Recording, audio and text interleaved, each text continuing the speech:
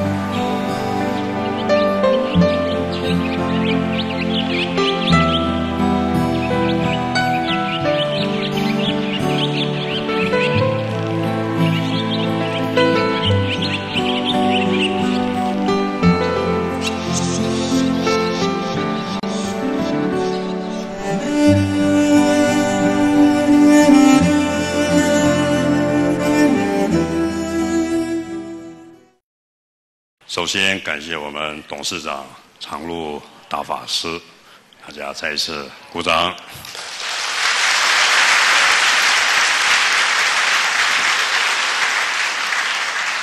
要非常感恩我们省委员的因缘，让我们有机会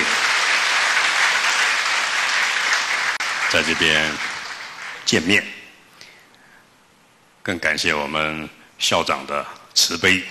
啊，因为我很羡慕各位，因为各位有我们长路大法师的慈悲来照顾了各位，更有一个虔诚的校长来做我们人格的模范。刚刚我们远远的车子来，我是第一次来，我们司司机菩萨说：“师傅，那个不是学校，那是寺庙。”我说应该是那一间呐，啊，所以我想，对佛教讲因缘来说，那各位能够在一个真正的教育的场所，因为所谓佛法，它是一种生命的教育，啊，让我们如何建构一个快乐的生命、正确的人生观，啊，所以我想。每一个生命的目的，都要追求快乐，而不要痛苦。但是我们一定要知道快乐的因是什么，为什么会痛苦？那这个就是一个很高的智慧。所以我刚刚在外面看到学校的四个字：悲、智、慎、行。啊，这个就是教育的重点。所谓慈悲，什么叫慈悲？感情的最高点叫慈悲。啊，自私的感情会痛苦。我看各位这个年纪最喜欢谈感情了，因为年轻嘛。但是感情有快乐也跟痛苦。但是各位每天就看到学校有这么多法师特别走来走去，你要想你要问问那个法师说：“哎，你那别出家了？啊，为什么要出家？你怎么不去谈恋爱呢？”啊，就像我经常去监狱，他们会问我说：“哎。”黑心啊！你讨个派去啊？你怎么跑去出家了？我说我有结过婚哦，我有生过小孩哦。我过去的太太哦，像影星一样的漂亮哦。问题是我过得很苦哦。啊，并不是说感情不快乐，而是那一种是一种束缚，束缚。我爱你，但你只能爱我。啊，你不你不爱我，何利是？奇怪。怎么会这么痛苦呢？所以我结婚七年，我就自己买了好几个鱼缸，天天看鱼，好羡慕啊！啊，鱼多自由啊！但是我现在被关在鱼缸里面了，啊，因为我以为那是快乐，结果我发觉哇，金价干扣啊！啊，我想快乐是一种自由。后来我又生了一个小孩子，哇，更痛苦啊！我想各位在这一点，我们农历七月份刚过，在佛教里面叫孝顺月，啊，是在纪念暮年神通第一的暮年。他妈妈虽然家里很有钱，但是不懂得因果道理啊。后来死了以后做恶鬼道，那做了恶鬼道以后，暮年证的神通，出家七天就有神通，以这个神通去观察，哇，他妈妈居然在恶鬼道，结果他就赶快拿一碗饭，以他的神通拨饭，供养他的妈妈。结果他的妈妈嘴巴一吐啊，一打开变成吐火，所有的饭菜变火炭。所以木莲那个时候很急啊，神通神通哎，他是第一，也没办法渡他妈妈，赶快回来找佛陀。然后佛陀就跟木莲说：“凭你一个阿罗汉功德不够了，你要在七月十五日，就是佛的，因为我们出家人三个月要精进的修行，然后来供养所有的这些阿罗汉，包括供养佛陀，你妈妈才可以离开恶鬼道的苦。所以木莲就这样去做，后来他妈妈升天了。那所以我们就把农历七月份当做来跟我念一下孝顺月。”啊，那每这个月我们就在讲孝顺的精神，由孝顺变成普渡。我想各位的爸爸妈妈，农历七月份一定会拜拜门口啊，啊，住大楼会拜拜门口。他为什么要这样做呢？因为暮年有妈妈，那是人呐，生命的轮回啊，几百万世。各位相不相信？因为你是慈明高中的，你要相信。因为慈明高中是佛教。佛教的基本就是相信轮回，人有过去世、现在是来世，啊，所以因为无量世的轮回有无量世的爸爸妈妈，所以每一世的爸爸妈妈无量世合起来，老实说了，我出家将近三十年，终于今天踏到慈明高中，各位一定做过我妈妈，做过我爸爸，做过我女儿，做过我儿子，不然我们不会见面。啊，所以各位听过一句话叫“五百世才能够同一艘船，一千世的姻缘才能够同一桌坐”。所以各位，你做你的同学三年，坐在你隔壁，你等下赶快握的手，那手赶快握一下，妈，我爱你，啊，对不对？就是如此了，终于有机会了，我爱你很久了，我今天跟你说。我讲的那个爱是爸爸妈妈的爱，不是男女的爱。这个叫缘分啊，所以我想这一点最高的智慧啊，就是你相信这个真理。所以刚刚我们董事长跟我们讲，哇，各位外面有一尊文殊菩萨，代表智慧，手上拿着各种的法器，包括奶瓶、iPhone，是要去帮助别人。所谓帮助别人，是要以不自私的读书最高的目的，不是拿第一名，学习服务别人的机会，增加自己的被利用价值。啊，你是搞电脑的，你是搞商业的，你是搞医学的，那我想必须要有无私的奉献。所以叫文殊菩萨说：“我不是为了赚钱而来读书的，我不是为了成功而来读书的。”我是要为了增加自己被社会国家的利用价值而来读书的，这个是一个动机，这个很重要。我一辈子都很努力，啊，因为我父亲很严格，所以我们以前读书，父母就告诉我们要考第一名，将来才会赚大钱。啊，我妈妈要我做医生，我爸爸要我做总统，这样啊。然后呢，从小把我逼逼到样样都一百分。啊，什么都是最好的，但是后来我才体悟一个道理：这么努力都是为了自己。因为我那个时候，我做旅行社，也搞房地产，也赚了一点钱。后来我有一次到越南最北边的河内，那天气热啊，买一瓶可乐在那边喝，结果可乐喝不完，剩下一点点，放在旁边。结果有一个乞丐小朋友一直看着，一直看。我想说，哦，可能他想要喝啊，我就把这一瓶剩下一半的可乐给他。他拿到可乐以后，哇，脸都发光了，然后就跑去给他爸爸。那小孩子很孝顺，他自己不先喝，先给他爸爸喝。哇，爸爸拿到这个可乐也不喝，就叫小朋友先喝。我在看到这一幕啊，我就自己觉得很惭愧。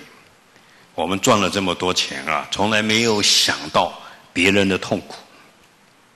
只想到自己的啊荣华富贵。那时候我也有儿子，啊我已经结婚那个时候，就我看到两个父子为了半瓶可乐那种感恩的眼光，让我升起一个很大的惭愧心。我为什么要讲这个？因为我真的是啊，每个人都想要赢过别人的在努力，但是我发觉我很自私，让我觉得很惭愧。我这么努力赚这么多钱，只想要让自己高贵啊，买的我不会开车，要买几部好车放在那边，啊，所有的好的要给我的家人。但是我从来没有想到，原来在这么远的国家，还有这么样的，一样是爸爸，一样是儿子，他们却只有后来是那个爸爸可乐给儿子喝完了，他把那个瓶子捏一捏，他要拿去卖，他可以卖到钱，但是让我觉得我自己很渺小，啊，所以我想我们刚刚讲的感情为什么能够变成慈悲呢？感情是自私的。我喜欢我我喜欢的东西，慈悲是无私的。流浪狗、蚂蚁、可怜的老人，刚刚讲了，七月份普渡，听说有孤魂野鬼，有地狱。那这些以前我们没有关心的，这是我生命第一个觉悟。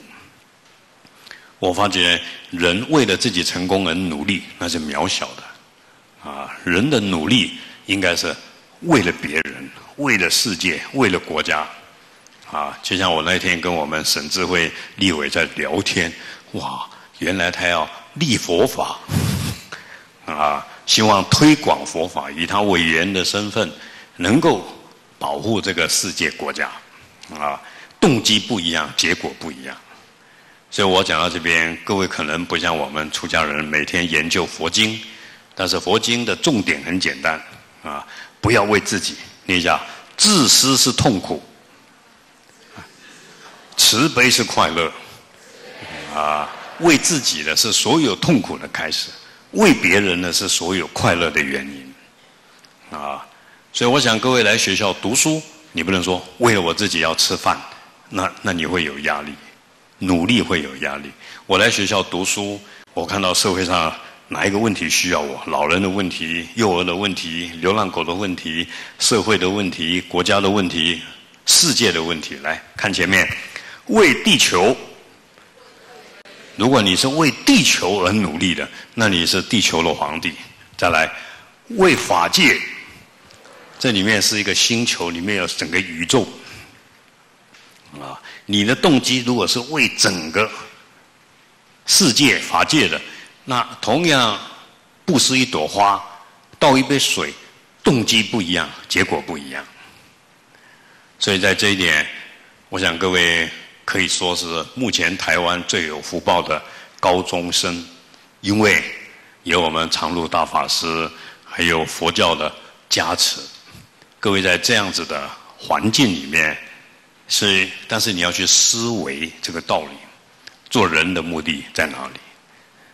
所以，简单的说，什么叫修行？来，人格的发展。所以要把人格发挥到最圆满。那人格的发展分作三个部分，也是我今天要跟各位说的。来，念一下：把知识变成智慧。啊，所以我们立委叫省智慧。校长、董事长外面给你摆个文殊菩萨。各位要把知识变成智慧，啊，再来第二个，把感情变成慈悲，啊，谈恋爱你会很痛苦哦，但是为什么我们出家人要出出家，出离自私感情的家，把自己奉献给大家，啊，当你没有自私的爱情感情的时候啊，你可以爱所有的同学，你可以爱所有的老人，你可以爱所有的蚂蚁。所以，自私的感情会痛苦，但是无私的大爱、慈悲，快不快乐？快乐啊！各位要不要出家？阿兄，我就不爱嘞。啊，我想出家是出离自私的家的意思了。啊，把自己奉献给大家。啊，所以哪一天各位来学校，我们校长问你，你为什么要读慈明高中？我要把自己奉献给国家，那你可以去做立委了。我要把自己奉献给世界，那你可以去出家了。啊，我要把自己奉献给病人，那你可以做菩萨了。啊，为这个来学习，这个叫人格发展，这是我的体悟。那个时候我才快乐，不然对我来讲，我努力啊，读书啊，赚钱啊，然后结果我觉得越来越痛苦。但是我了解这种无私奉献的道理啊，然后所以我就跟爱我的太太说：“你爱我，我爱你。但是外面的世界还有很多人需要被爱，所以我必须离开你。哦，一头开始考啊，啊，我必须离开你，不然呢，我就没办法去爱众生。我也跟我爸爸妈妈说，你们非常的爱我，我爸爸妈妈非常的爱我。但是爸爸妈妈，谢谢你教我这种爱。”我要把你们对我的爱来爱天下所有的人，所有的老人，啊，意思是说，我跟我父母说，如果你让我能够去修行出家，我会以对你们两个老人的爱去爱全世界的人。你讲民工他这了，啊，他不了解这个道理。但事实上，等我出家以后，特别在我爸爸妈妈老了，他们才跟我说。还是出家的儿子最孝顺，何况离家在啊！因为我妈妈说啊，哎，你以后长大是听你老婆的还是听妈妈的？废话，当然是听妈妈的。讲是这样讲，都是听老婆的 啊。所以，但是我跟我妈妈说，妈妈，我又回来了，我又开始来孝顺你了啊。但是当然，我妈妈说，那你孝顺我，天天又不在家。因为我是以孝顺你的方法去孝顺全天下的妈妈，啊，我是以爱儿女的方法去爱世界上所有的儿子女儿。我的儿子应该是三十二岁了，不过我们出家就不见面了，啊，那时候所以我看到各位啊，我就很熟悉，啊，很容易让我去爱上各位。如果你问我说，师傅你今天来干嘛？我来爱你们的，啊，但是。男同学，记住我底下这句话：爱不要建立在做爱上面，对不对？爱不要建立在欲望上面，啊，无力啊，无力。嗯，对啊。女同学，哪一天有个男人写封信给你，我爱你，里面欢喜，我跟你讲，你要问他，你爱我什么？头发，头发会老的。爱什么？身材，身材老波波哎。他爱你那些外表啊、头发，那这些都会变的嘞。如果把爱建立在肉体上面、建立在外表上面、建立在金钱上面，那会变的。千万不要被利用。那个男生说：“你眼睛好美哦。”你要说：“你好好色啊，好美。” 他是因为色欲才说你皮肤好美哦，对不对？他心里想的是你胸部更美哦。男人，男人，这是不是真的啊？啊，大部分人都把爱爱爱建立在欲望的满足、感情的寄托，那是真爱还假爱？到时候就砍来砍去，我跟你讲，告来告去。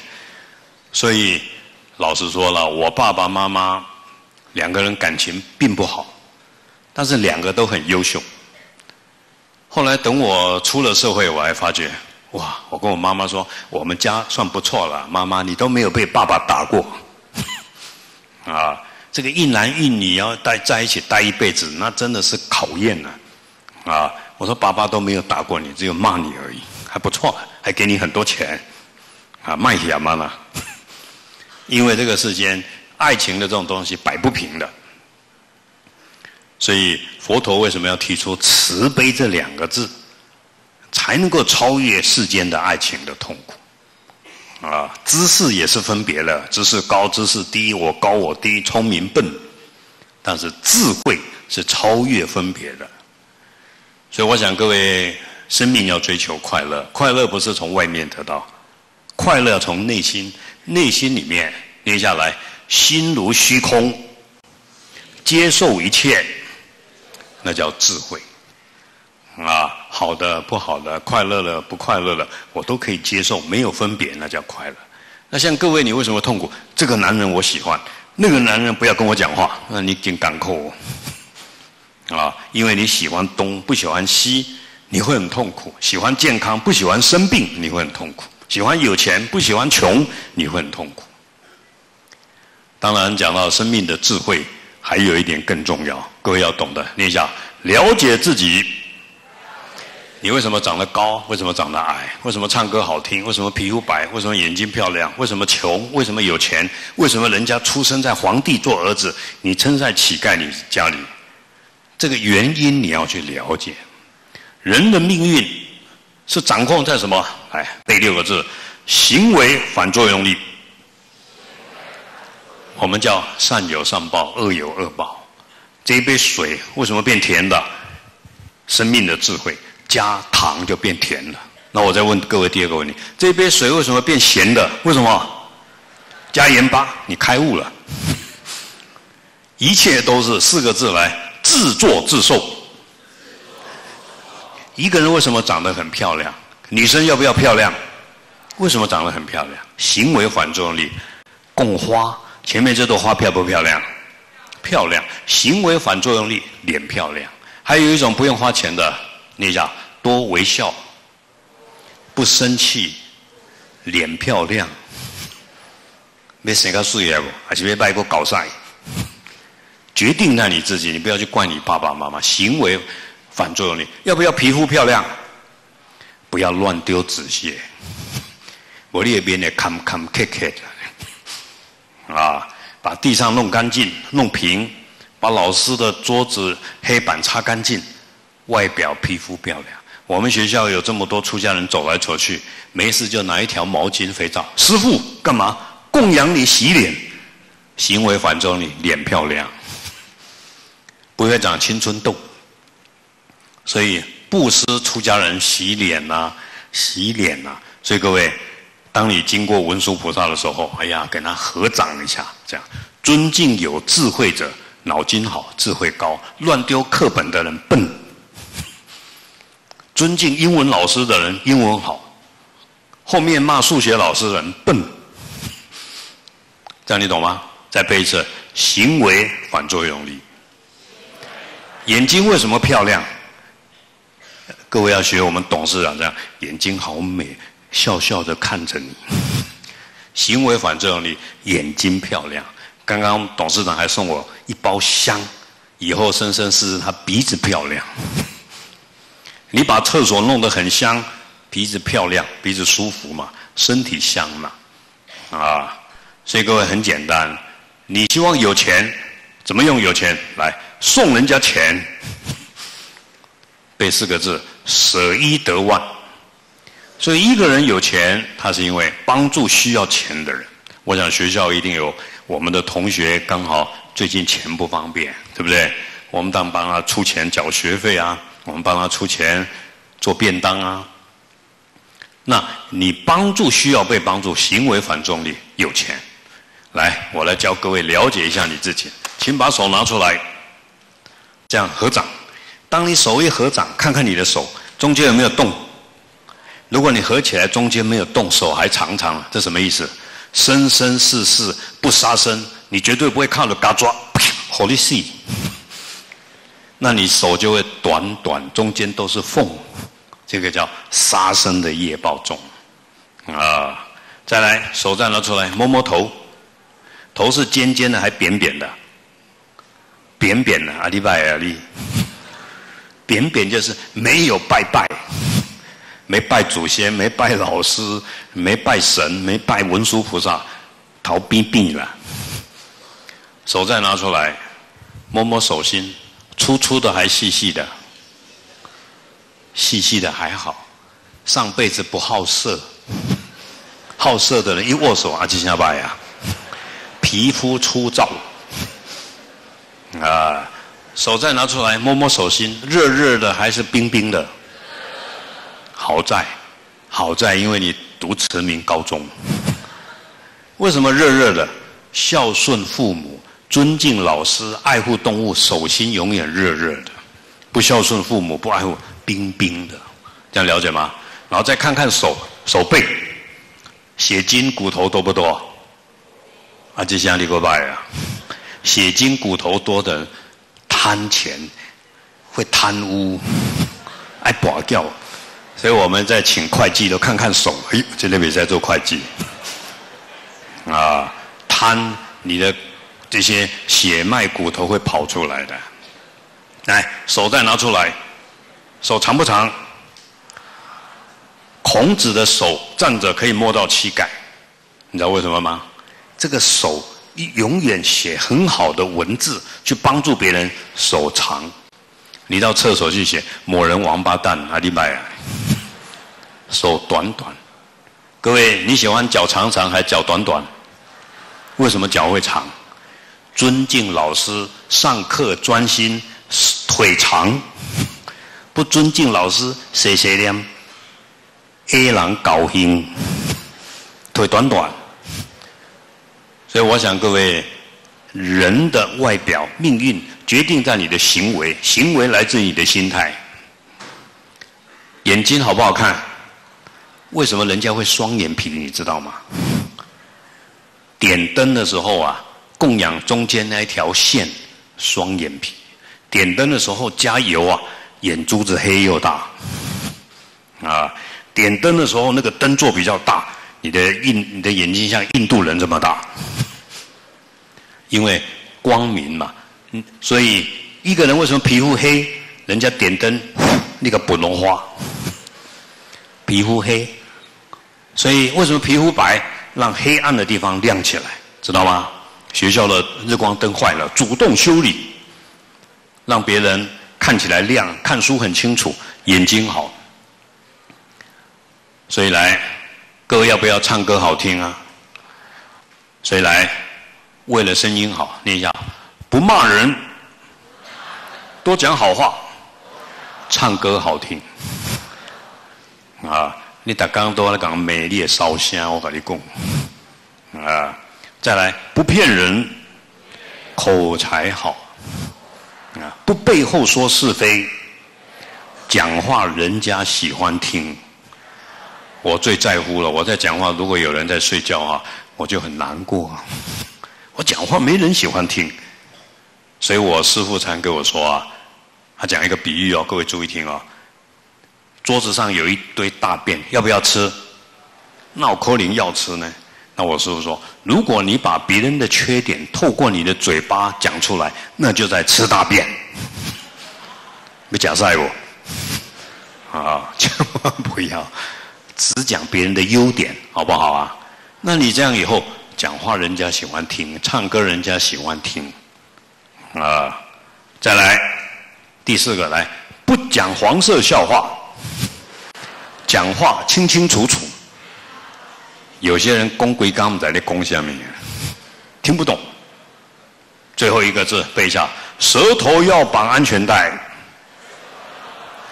哎，要开始练习吧，啊！我们所谓修行啊，就是修正行为、身体的行为、语言的行为、心态，这个叫修行。以董事长为模范。修行了解吗？以老师为模范修行，以文殊菩萨为模范修行。各位现在以谁为模范？唱歌跳舞的为模范，金下拜呀！啊，各位现在信仰什么？睡觉、手机这样，每天在忙这个，那你一定要调整你自己。所以我想你喜欢住大房子，哇！像老师说。我们慈明高中那天，我听立伟说，以前地震啊，所以那立伟帮忙，居士出钱，终于又把学校盖起来。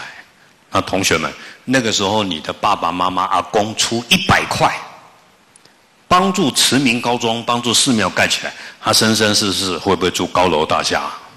爸爸妈妈留给他三栋房子，人家种的善因，人家种的善因。听我讲一个故事啊。在佛陀的时代啊，有一次佛陀出来讲经说法，很多很多人。那个时候，当地的国王啊，这些长老啊，都跑到前面要挤着去供养佛陀。那个时候，最底下有一个小乞丐，他什么钱都没有，但是呢，他手上只有四颗豆子，啊，放口袋的。他就把这个四个豆子拿起来，哎呀，愿佛伟大的佛陀啊，接受我供养，就把这个豆子这样撒出去。结果佛陀有神通哎，啊！佛陀赶快要把钵拿起来，让这四个豆子啊，五个豆子，佛经讲五个豆子，四颗掉在钵里面，其中一颗掉在佛陀的头发里面，佛陀故意用头头发去夹着他的豆子，啊，那个那个远远的乞丐看到这一幕啊，跪在那边一跟佛陀磕头，然后故事又讲回来，故事又讲回来，到了佛陀晚年的时候啊，有一天有一位佛陀有有一天跟大家说，等一下有一个国王要来，这个国王呢。连续做了四次的转轮圣王，这个世间最大的国王，他来的时候，连天上的玉皇大帝都跟着他来。哇！大家大家都在排队在等，哪有这么伟大的国王？结果一出现的时候，真的是大家很羡慕，身材又高又庄严，皮肤亮亮的，啊，他叫四个转轮圣王的身份，天王也尊敬他。到时候等他这个国王走了。大家就合掌啊，阿难啊，佛陀啊，为什么这位年轻的国王这么庄严，做个四个转轮圣王，连天王都尊敬他？佛陀说：你们忘了，二十多年前有一个乞丐啊，他呢布施了五颗豆子，这样撒过来，恭敬心跪在那边，我用钵给他接起来，所以四个豆子放在钵里面，他做四世皇帝。另外一个豆子，我给它放在头上。天王他将来也要做天帝，所以各位，明天开始啊，朝我们董事长办公室挥撒一下，啊，下回换你做董事长，对不对？那你供养，因为我们这边有文殊菩萨，所以我走到哪里啊，我都会这样挥，这样，我用水供养，啊，这个观观音菩萨水往上面叫供养诸佛，水往地上地上布施给众生。水要不要钱？不要钱。那重点是心态的问题啊，有这个心态去做供养啊。刚刚我看到那四个字哦，悲智慎行啊，有慈悲，有智慧，作为一个圣者，有道德去实践啊。所以这是我们教育的精髓。所以各位讲到这个地方，开始要来念下来，做生命的工程师。你要开始塑造自己，但是行为来自于心态。我从小有一个格言，对我自己而言，念一下：专心就是天才。做心的主人，掌握你的心，就掌握生命；掌握你的心，就掌握世界。很简单哦，记住哦，佛法不是我们去拜哪一个神，神是存在的。只要你道德，神会加持你。但是我们重点是心决定命运。所以各位，现在你的心很脆弱，我会生气啊，我心情不好啊，我很想谈恋爱啊，我想看我女朋友啊。你的内心里面啊很脆弱，所以你要修行。最好的方法，打坐，好不好啊？打坐，念心经啊，甚至呢，你去绕文殊菩萨。当你在绕文殊菩萨的时候，我刚刚看到董事长故意做成圆圆的，我们都很喜欢这样绕，绕。你去绕的时候啊，文殊菩萨大智慧，他就加持你。记住这个啊，所以你要用你的心去供养。那你的心在绕的时候一直念：我要有智慧，我要利益众生啊！你要这样想，因为你在讲这个时候啊，就跟文殊的心态合为一体。因为心心相印，所以各位呢要掌握你的心。但是我们的心有几个不好的要消除掉。各位有没有听过《西游记》啊？我们年轻都看完《西游记》，我看各位这个年代大概没时间看《西游记》了。啊，这个《西游记》里面的唐三藏、猪八戒、沙悟净、孙悟空代表什么意思呢？猪八戒代表我们的贪心。我要睡觉，我要女人，我要吃，叫贪，也代表我们的身体像低八改猪，所以你的身体心态要守戒律，八条戒律叫猪八戒，我们叫八关斋戒。杀悟净代表什么？嘴巴，嘴巴要清净，不要骂人。但是杀悟净也代表爱生气，杀悟净脸黑黑的，都不笑的，嗔恨心。那孙悟空代表什么？我们的狡猾。聪明，但是狡猾聪明离不开如来掌心，对不对？齐天大圣，所以唐三藏给他取名叫悟空。你的心里要悟到空。很多人听到空就很可怕，我现在要有，我干嘛要空？空不是没有，空是做金钱的主人，不要做金钱的奴隶，叫空，了解吗？啊，什么叫空？我有感情，但是我不做感情的奴隶，我把感情去爱可怜的人，啊，我去帮助人，这个叫空。空不是没有，空是你能够不执着它，好好的用它，叫空。空不是没有，就像我，我这辈子努力读书赚钱，我终于入了空门，为什么？哎呀，生命的意义不要一直为了钱、为了爱情、为了出名在努力，应该把自己，你想把自己奉献给众生，啊，各位，奉献那就是一种最高的智慧。所以，猪八戒代表身体要守戒律，沙悟净代表嘴巴要清净，孙悟空代表你要掌控你的心，那唐三藏代表圆满。所以唐三藏能够从我们中国到印度帮我们取经西方极乐世界，那你就找到生命的真理。所以我想各位一定要懂得这个道理来看《西游记》，做身体的主人，掌控自己的嘴巴，指挥自己的心，叫身口意清净啊。这个就是西游，你就可以找找到真理，找到真理还可以回来帮助别人。所以《西游记》要告诉我们这些道理。好，刚刚讲了，学佛是三种的发展，再背一次来，把知识变成智慧，把感情变成慈悲，把意志变成愿力。我要做医生，医所有的病人，有钱没钱我都要帮他。啊，我要做老师，教人家真理。从世间的知识教到真理，这个叫愿力。所以地藏菩萨哦，所有众生念一下地狱不空，誓不成佛。哦，这个愿好大。观音菩萨哪里有苦难，就有我的存在。哇，大慈大悲。所以这个是我们人格的发展，因为人有知识，人有感情，人有意志。但千万不要把意志说我要做一个有钱人来享受，我要做一个最漂亮的人，不是这个意思。那不要漂亮吗？不是，要把漂亮变成一种，念一下，把漂亮变成庄严。庄严是没欲望的哦，漂亮是有欲望啊。男人多看我一下，啊，你有欲望，那你就会有得失之心了。所以各位在这一点。这个就是佛教发展目的，为了这个，所以我等一下也会发给晚一点一本叫《因缘果报》，那我希望各位去了解这上面的道理啊。所以一个人为什么讲话好听？为什么高？为什么矮？所以在佛教里面，我先讲一个故事：为什么心态可以改变命运？有一个国王，他老了。他要把他的国家给他三个王子，但他不知道选哪一个，三个都不错啊。结果国王哪一天就找到一个点子，他给三个王子同样的钱，跟三个王子说：如果你们谁可以把这个皇宫啊用同样的钱填的最满，我就把王位交给他。哎，这个有道理。那三个王子彼此也不嫉妒，各自想办法。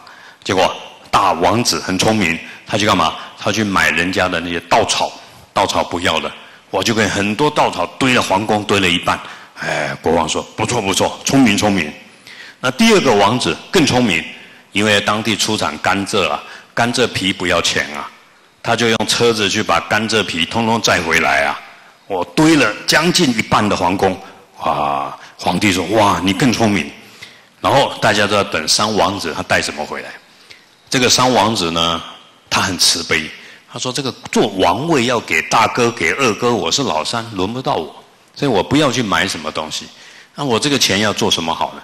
结果他在路边看到一个乞丐蹲在黑暗的地方，他就把这个钱说：“哎，我这个钱给你啊，希望你生活过得好一点。”这个乞丐感动了，哭啊！这么多钱，我我要送东西给你。他身上没有东西，晚上他要起来上厕所，还有半根蜡烛，是唯一乞丐的东西。他就把这个半根蜡烛啊，他说啊，你这个有钱人啊，我我这个蜡烛给你给你，谢谢你救我的命。他就把这个蜡烛小王子就很高兴，把蜡烛放在口袋。等他回王宫，皇帝啊，大哥二哥就问他说：“那小弟呀，你买什么回来？”他说：“我没有买啊，我把钱送给穷人了。皇位给你做啊，那你你带什么？没有啊，那穷人就送我一颗小蜡烛啊。不然好了，我把蜡烛点亮好了。那时候刚好傍晚，一点亮，请问整个皇宫有没有亮起来？国王马上问哈哈哈，你最厉害。”一个小蜡烛把所有黑暗的皇宫都照亮，百分之一百，所以把皇帝的位置交给你。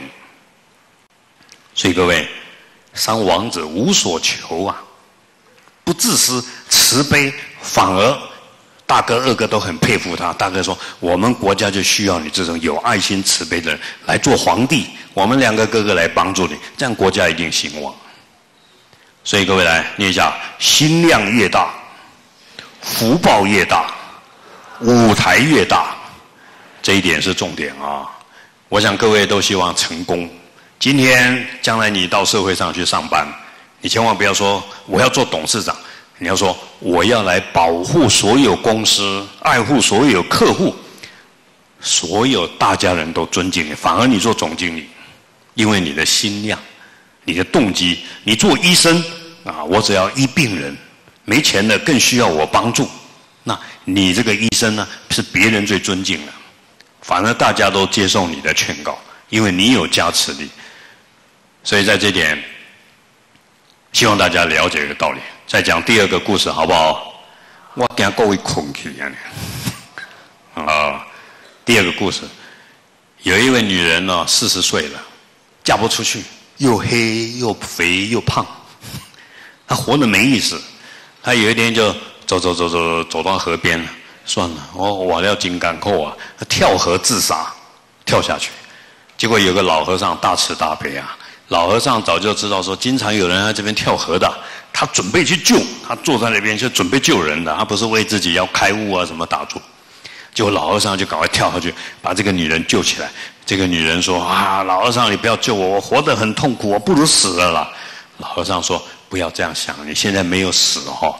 我教你一件事情，那个隔壁乡村呢，很多可怜的老人呢，没人照顾。你这样好了，你去照顾他们，你可能会找到快乐。如果你不快乐，再回来找我。结果这个胖女人好了，既然没死，老和尚这样讲，他就去照顾那些这些可怜的没人照顾的独居老人。结果那个老人院有个功德主，年轻的董事长，长得高富帅。呃，他不喜欢追求美女啊，他认为有钱去帮助别人最好。结果他经常去老人院去布施啊，去帮助老人。哎，他就看到那个女人天天在那边，他就问里面的院长说：“那个女人你给她多少钱？她这么努力。”啊，院长说：“那个女人不要钱的，人家来做义工的。”哇，真美哦！这样，这个董事这个有钱人就偷偷偷偷爱上那个女人，就跟院长说：“不能安排一下我跟她吃吃饭呐？”她真美啊！这个董事长有没有眼光啊？好色的人看皮，有智慧的人看心，听不？啊，真美哦！呃，这个这个董事长天天跟她约会啊，后来就娶她做太太。你看，麻雀变凤凰 啊！所以那个时候，这个这个丑女人嫁给了高富帅的老板，哎呦，就去跟着老和尚感恩。老和尚说：“你看嘛。”你以前都是哎呀嫌自己丑啊肥啊追求别人好啊，你过得很痛苦。现在你无私的奉献去帮助老人，你成为最美的，你得到最好的结果。不但如此，董事长娶了一个这么样的好心的人，当然更赚钱哦。更赚钱也就把老人院做得更大啊。那他的太太就在那边做大功德主，这样生命快不快乐？有一句话念一下：放下屠刀，立地成佛。这什么意思？自私就是屠刀啊！你开始想要去帮助他，帮助别人，你就找到生命的光了。讲到放下屠刀，立地成佛，还要不要再听一个故事啊？这里面有一个典故，有一个小和尚啊，从小出家，他师傅都教他不能杀生。为什么不能杀生？念一下：生命平等，一只蟑螂，一只蚂蚁，都希望快乐，不要痛苦啊。如果你去杀死他，他会痛苦，而且这个痛苦行为反作用力会跑到你身上来，你会多病啊！骑摩托车不小心会车祸，走路会跌倒，因为呢，生命不是死了就没有，生命有轮回的。所以这个老和尚就一直告诉小沙弥说：“不要杀生哦，来这边出家不要杀生哦。”那有一天，这个小和尚抓了一只青蛙，他喜欢玩嘛，他也没有杀它，抓青蛙就玩玩玩。有一天，老和尚规定他打坐，他就嘣，赶快坐下去。他不了解青蛙刚好在他蒲团上，嘣，对戏，青蛙要扁了，死了。哎呀，这个小和尚就哭啊，师傅怎么办？师傅怎么办？老和尚说：“我就跟你讲，不要杀生，你还抓青蛙来玩，你看你要下地狱了。”小和尚说：“那怎么办？我我刚出家就要下地狱了。”那老和尚说：“你赶快啊，你现在赶快去忏悔，不然你会下地狱。”我我我怎么忏悔呢？老和尚说：“你压死青蛙，你要去跳崖自杀。你你如果跳崖了，你可以消你的杀业。”小和尚。真的吗？他就哭啊，哭得稀里巴拉的，朝着他爸爸妈妈、爸爸妈妈，我对不起你们啊！你们送我出家，结果我现在就杀生啊！对不起你们啊！师傅叫我去跳崖啊，不然消不了杀的业啊！他就哭啊，哭啊，哭啊，跑到悬崖上面准备跳。事实上，老和尚只是考验他，不是真的要这样，看他有没有决心。结果那个时候有一个年轻人走过去，看到小和尚在哭啊，准备跳，那个年轻人就说：“哎，小和尚，你要干嘛？”他说：“不行了，我要跳崖自杀。你你干嘛要跳崖自杀？因为我我杀死一只青蛙，如果我没跳啊，我师傅说我会下地狱啊。”这个年轻人一听吓坏了，整个脸翻白。为什么？他是杀猪的。你才杀死一只青蛙要跳崖要下地狱，我每天杀二三十只猪怎么办？就这个年轻人说：“小和尚，你不要跳，我替你跳，我干脆 嘣，他就跳下去了。”结果老和尚在下面就化成一朵莲花，把那个李莲屠夫啊，把他这这个叫什么放下屠刀 立地成佛，他就跑去出家了。所以我想各位在这一点，你过去怎么坏都没有问题，那是过去的。就像我以前也是个坏人，我这个人呢，你不要说我是好人，我喜欢跑监狱，因为监狱是我熟悉的地方，啊，我在社会上这样玩过啊。啊，黑白两道我都跑过啊！我只是觉得说，这也是三宝的加持吧，他让我让我了解很多东西，也有好处吧。啊，所以在这一点呢，各位啊，中国人了解这种道理，所以告诉我们背四个字，念一下：诸恶莫作。简单的来讲，伤害到别人的，伤害到世界的。破坏到环境的，你通通不要做，因为这个事情一定会发生在你身上。刚刚各位听我说了，丢纸屑皮肤会不好看，骂人声音会不好听，啊，偷别人的钱你会贫穷，贪的人也势必会穷。所以爱骂人乃至爱生气的人相貌会丑陋。所以各位要永远，我们慈明中学漂不漂亮？干净漂亮。啊，我们董事长这么多法师，按照佛陀的教法，创造一个极乐世界，一个净土。啊，希望大家在这边不会做坏事，找到清净，找到什么？念一下，找到自己。这句话最重要，找到自己。现在的人把快乐定在别人的给予，别人肯定我，别人跟我爱情，给别人称赞我，这个叫迷失自己。现在的男人在名片上印了一大堆的这个会长什么长什么长，这个叫迷失在外面的世界，离开了自己。所以各位有一句话：这个世界离你最远的就是你的心，就叫心跑掉了。追逐的外在，特别现在是网络时代，如果今天没有规定，我看大家每个都在玩手机。啊，在追求这里面的欲望，我要看美女，我要看唱歌，我要看一些精彩的，你的心就越来越乱。所以各位，你一定要抓住你的心，不要把心流浪在外面。这个把心流浪在外面了，那就是痛苦。我们叫流浪生死。所以佛教叫我们要禅啊，禅就是把心拉回来，而且进一步的禅是不被影响。你骂我。我保持安静，啊，你诱惑我，我我还是平静，啊，不会被别人影响。各位要开始练习自己这颗心。最好的方法，各位可以抄课本。你觉得孔子这句话不错，你觉得老子这句话不错，你觉得有一个智慧的人讲了一句话不错，你就把这四个字经常念“悲智慎行”，一步一步一画，你心就定下来。各位一定要练习啊！当你心定下来，念一下“宁静致远”，你会看得很清楚。这个世界未来怎么发展？别人心里在想什么，你会知道。你心如果像一个镜子，就像我们摄影机擦得很干净，焦距调得很清楚，它可以把整个世界都收在它镜子里面，很清楚。但是各位注意啊，我问各位，镜子里面的东西是真的还假的？这是最高的智慧啊！我们往往把爱情啊、金钱啊、房子当做真的，我要，我要。这个世间所有你看到的都是镜子里面的东西，都是电脑里面的东西，它不是真实存在的。这个太高了，这个是博士班的，但是跟你是小学、中学没关系。如果你懂了这个道理，来念一下：世间的一切都是假的、暂时的、虚幻的，如梦幻泡影。《金刚经》讲这句话。如果你知道这个道理，你心里就不会被它影响。偏偏女人认为爱情是我的生命，啊，哦，男人认为臭皮是我的生命，我要比别人高大，开的车好。他把这个把心态定在这个会破裂的东西，镜子的东西，如果你想要去拿，镜子就破掉了。所以各位啦，念下来，做一个智慧的人。了解一切，那你要去分析前面的花。我问各位啊，这个花永远存在吗？没有，在一个礼拜以后就臭掉了。这个花为什么可以存在？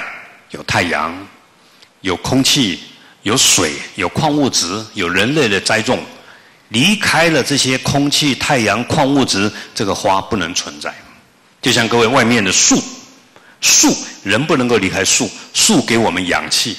我们给树二氧化碳，所以人不能够离开树，树不能够离开人，一切的存在都念一下，互相依靠。记住，这个是释迦牟尼佛讲的最高的真理，互相依靠，不能对立，没有你就没有我，没有空气可不可以活？做个实验，大家三分钟不要呼吸，好不好？吸个不半。所以，生命不能够离开空气。空气从哪里来？氧气。太阳照到树的光合作用。所以，你自然科学你还是要读啊。那树不离开矿物质水。所以，凡是存在的，皆念一下息息相关。所以，简单的一句话：你对世界怎么样，世界对你怎么样；你对镜子笑，镜子对你笑。背下：善有善报，恶有恶报。这个道理永远记住：骂人者人恒骂之，爱人者人恒爱之。你乱丢课本，伤害你的脑筋；你伤害到动物的身体，其他人的身体多病短寿。所以佛陀希望我们大家能够手持慈悲的戒律，念一下：不杀生，长寿健康。像各位礼拜一为什么要吃素？无肉日。不要把自己嘴巴的欲望建立在其他动物的痛苦，不要把自己的自私的欲望建立在其他生命的痛苦。记住这句话，并不是说吃素为了健康才吃素，吃素是一种学习尊重万事万物，人也要活，动物也要活。如果你养过狗，你叫你去杀狗，那你会杀不下去，因为狗好可爱。所以我有办了一个护生协会，我已我们已经救了将近来大家水洗功德。什么叫水洗功德？别人做了好事，你内心说好伟，你跟他功德一样。我们已经救了念下来五千只狗，那波浪恭维，来五千只狗，水洗功德。你救狗有什么好处？以后嘴巴不会轰轰轰乱叫，因为每天在喂它吃饭呢，让它快乐啊。我们已经救了两万八千只牛，让它不被杀。在缅甸啊、泰国啊、斯里兰卡、啊印度啊、西藏啊，包括台湾，特别救那些乳牛，怀孕了，怀孕了，啊，让它不要被杀。因为什么？因为救他的命是不是救自己的命啊？像我年轻的时候，我不懂，我喜欢钓鱼，钓鱼，钓鱼就伤害鱼，而且我不吃鱼的，把它钓起来，然后就他嘴巴受伤了，所以我经常嘴巴破。再来就给他带回家养，海水养在淡水，淡水 反正就是养养到死。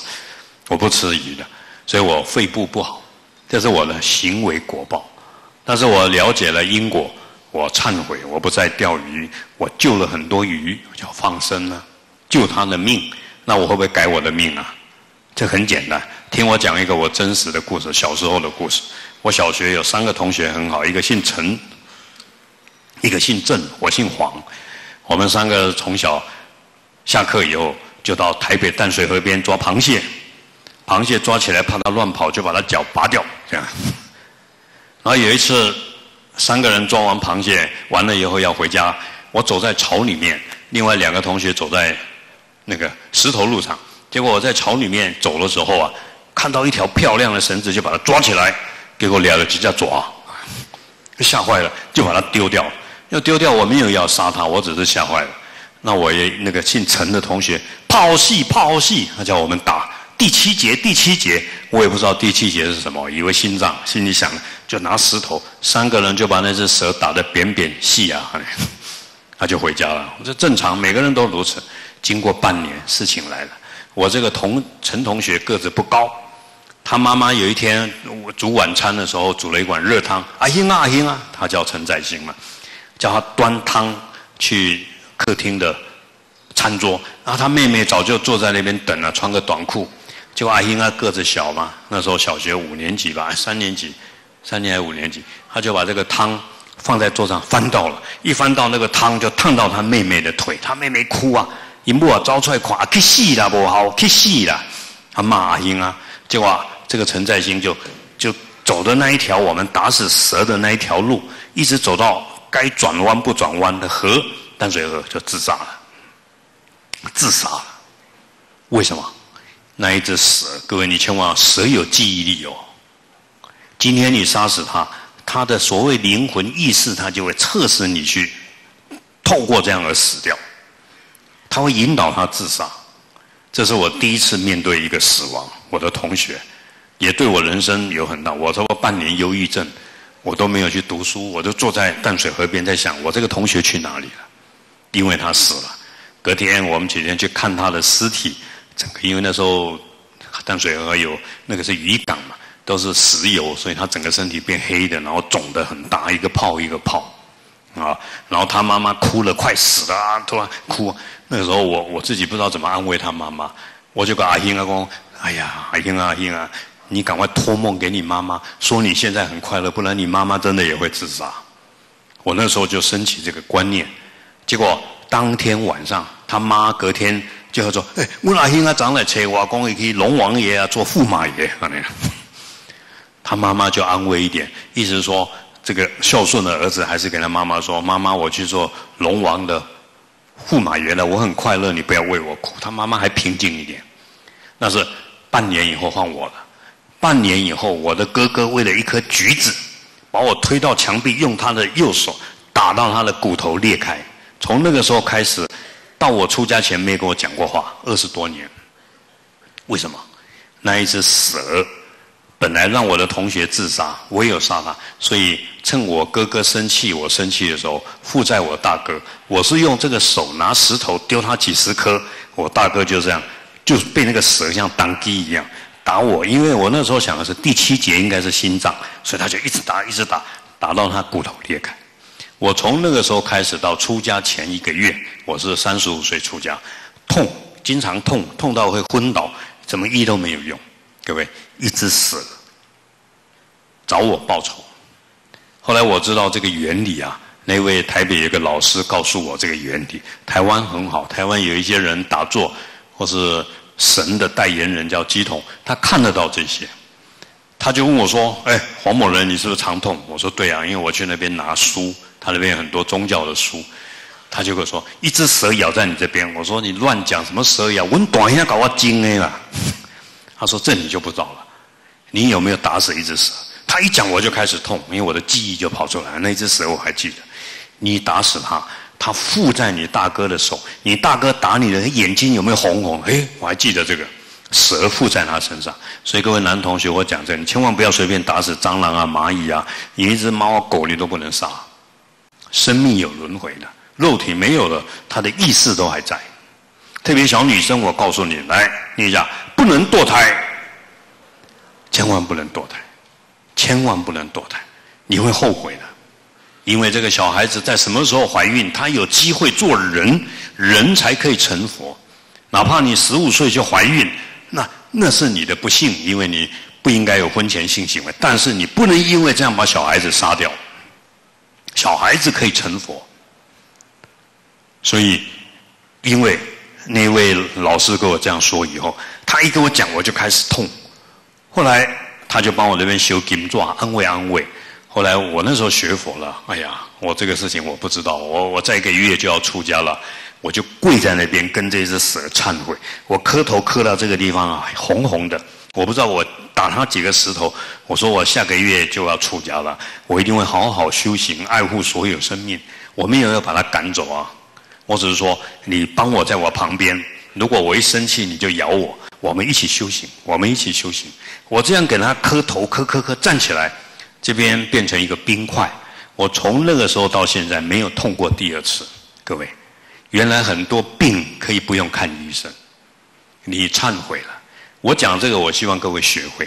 我之所以能够出家，是因为我妈妈。我妈妈在几乎三十年前，我三十三岁的时候，她得癌症，胰脏癌。医生说这个很难医。那时候住在台北的医院，那我们四个兄弟轮流看。但是有一天，医院里面有一个菩萨。拿给我一本书，叫《地藏经》。那我看我妈妈这么痛苦，我就跪在那边，在最痛苦的时候，一下发烧发热，然后医生给他说化疗，我妈妈又不要，我就跪在那边诵《地藏经》。跪的时候，我发现我妈妈都不会震动，都不会痛。我读完《地藏经》，我就了解，哇，原来我看了这么多书，没有比这本书还好的，写的这么好的道理。我就学地藏王菩萨发愿，地藏菩萨的妈妈下地狱啊，都可以超度了。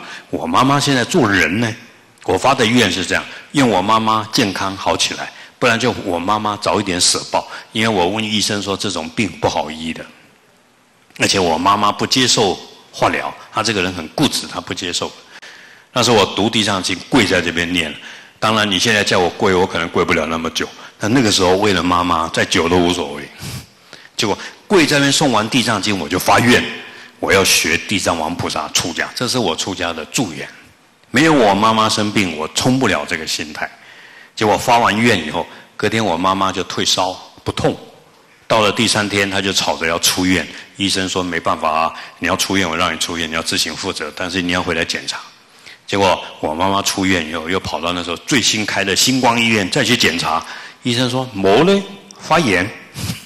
我妈妈有一点相信，她回来拉着我的手，她叫我阿样阿样你替你妈妈发愿哦，你要做哦。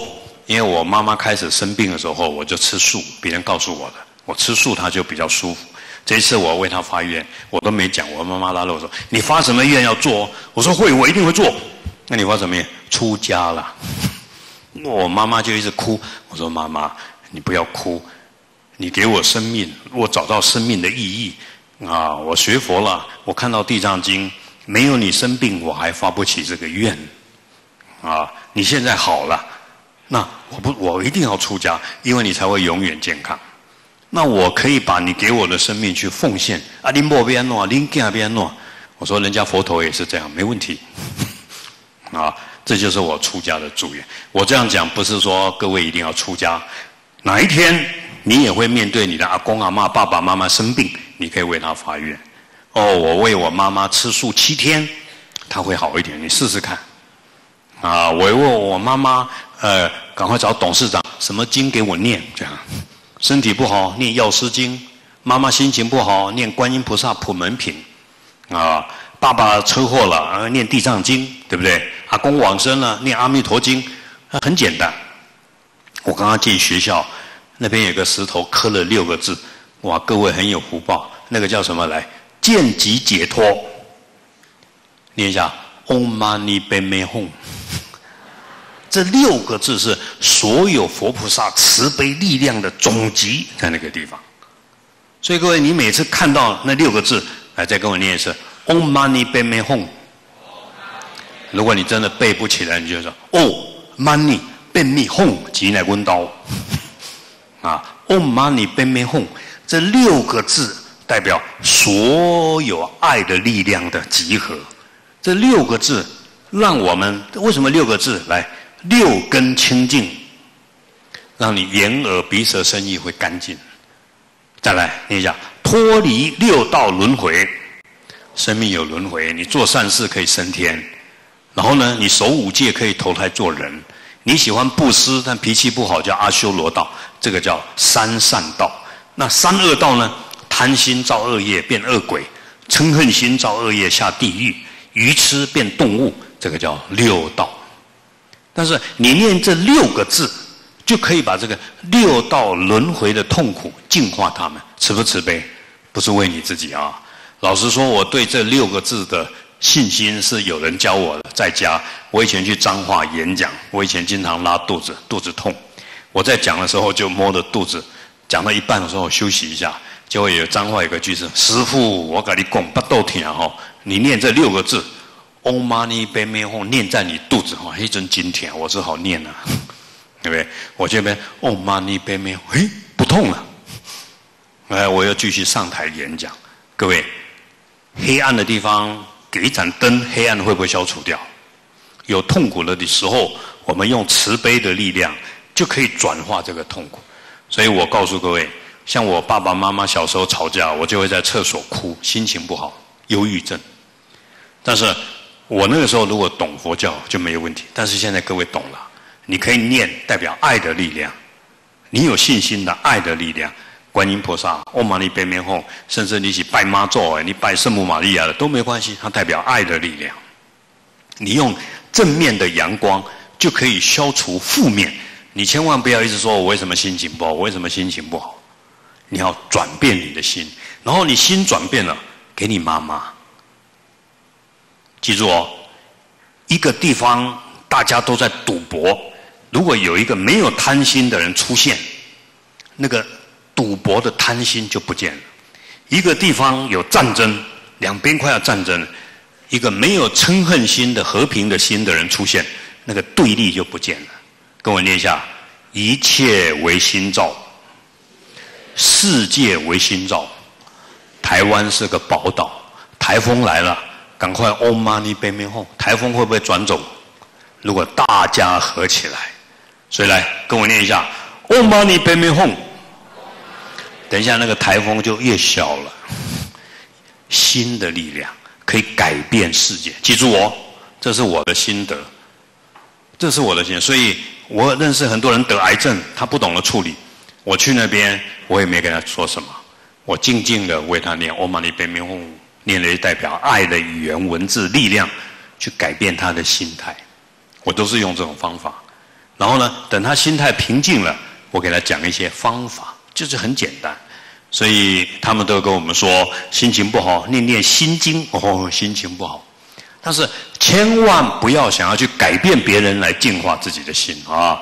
你用你的心可以改变对方。比如说，像各位你将来毕业了，你想要去台北读书啊。那个是合理的。你想要出国啊？你爸爸妈妈不同意，你不要吵架。呃，你在你的信仰面前，特别是观音菩萨，你你如果知道你妈妈喜欢念观音菩萨，你要念南无观音菩萨啊，加持我的妈妈，让我的妈妈相信我，我是要去努力的。观音菩萨会不会改变你妈妈的心？这个叫信仰。我告诉你，天上的太阳很亮。但是如何把这个亮度进入地下室呢？你只要有一个小小的镜子，很安定的去反射这个光，太阳光可以进入地下室的黑暗。这个记住，现在的社会各位跟我们不一样，我们那个时代很单纯，我在各位那个时代只会跳土风舞就不错了。啊，现在你们时代可复杂了，心很乱，所以那你现在安定下来。我妈那边没有，我妈那边没有，念个二十一次，你会发觉你心平静了。这个心平静不是光你的力量，太阳的力量透过你平静的心，可以反射到你的爸爸、你的妈妈，这样了不了解啊？但是动机要正确啊！你不能说我喜欢那个男人，天天给他念，看会不会来爱我？那个动那个动机是自私的，你不用想这个。如果你希望嫁个好男人，娶个好太太，多礼拜观音菩萨。观音菩萨会安排一个来照顾你，不会伤害你的，叫好姻缘。记住哦，但是你去求，有求就苦。所以各位，你安排，像各位以后结婚了，长大了，你希望生儿子啊？为什么不会怀孕？你要记住，念头决定命运。当你要生儿子，你要想说，我生了儿子或女儿，希望他是一个好人，能够帮助社会，他能够奉献给社会，他就会来投胎，是一个好的儿子。如果你结婚的时候，我要生一个漂亮的，我要来爱，我要来满足我的这种欲望，这种自私的，会生一个来讨债的，因为欲望招赶来是不好的。所以再背一次来，一切为心造，命运为心造，做心灵工程师。各位你要掌握你的心，改变你的心，千万不要用嘴巴去骂对方，对方骂我。我用我的心念爱的语言，欧玛尼边边后，啊，用想的，我对他讲好话，他心就会改变。你要永远记住这个，啊，所以各位，首先你要学专心。像各位现在读，不管你读哪一科，我刚刚讲过，念一下，人生以服务为目的。我读这个的用心是希望去服务社会，让公司更赚钱，制造出好的产品，好的。食物来让别人健康快乐，你用一个好心去做事情，这个事情就会改变。但是，为大部分人是动机是自私，我如何拿更高的薪水，赚更多的钱，啊，卖高的价钱，买进来便宜，然后卖出去贵。你用自私的心呢，往往结果不好。所以在这一点，各位要掌握掌握心态啊。那我们的内心里面有三个不好的，你要改变。再念一次来。贪心啊，贪心像一只猪啊，这个嗔恨心啊，就像一只蛇一样啊。再来愚痴心，什么叫愚痴？就没有智慧啊，不相信因果，叫愚痴。愚痴的人那像一只鸡一样。所以你千万不要做心的奴隶啊！各位要转化，把贪心变什么什么？来看前面，我现在敲个声音哦，你注意听。好不好听啊？这个是牛皮做的，这里面有个故事。那你们出家人说不要吃肉，你们干嘛敲牛皮啊？这么大的鼓，空空空的牛啦。